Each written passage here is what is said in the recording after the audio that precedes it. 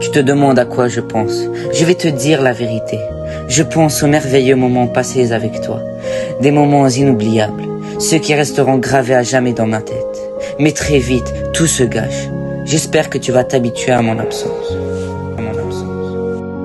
Notre rencontre était aussi hilarante qu'historique.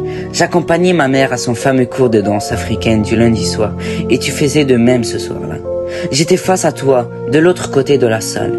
J'étais assis dans les gradins, et le public ne se composait que de trois personnes. Un mari ennuyé qui n'attendait que la fin du cours. Toi, Étienne, le jeune qui faisait de tout son possible pour ne pas exploser de rire face aux danseuses.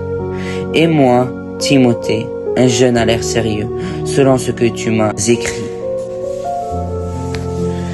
Tu voulais capter mon regard, mais je scrutais les Parisiens effectuer leurs gestes, venus d'un autre continent vaste et massif, vivant et mort. Bref, à la fin du numéro, tu as sifflé pour les applaudir, et tout le monde t'a fixé.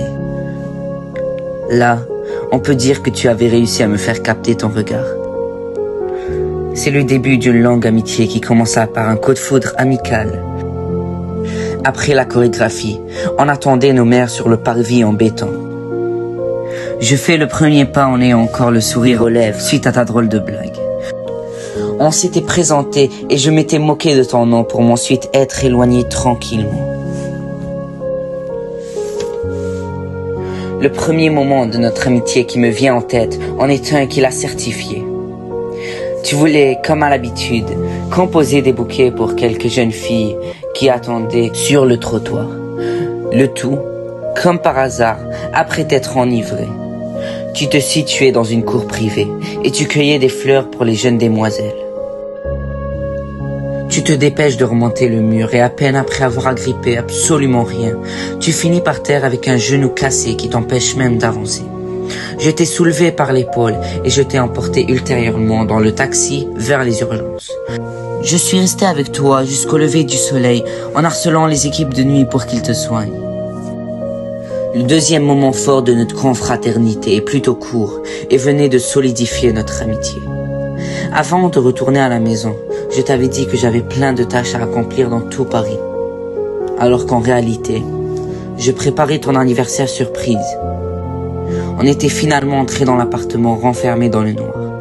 Tu avais appuyé sur l'interrupteur et soudainement, dans le salon, tous tes amis du lycée étaient devant toi à te souhaiter un bon anniversaire.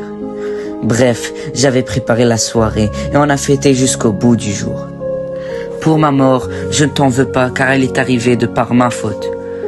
Je t'explique, ce qu'on avait prévu de faire n'allait jamais arriver, car ma destinée consistait à mourir à cause d'un manque de fiabilité, pour apprendre à toute l'humanité à faire confiance d'un premier point, et d'un deuxième point à être fiable.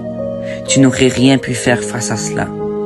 Finalement, je souhaite que le vide que tu ressens suite à mon absence soit comblé par la présence d'une autre personne et je te suggère de continuer la natation et les études.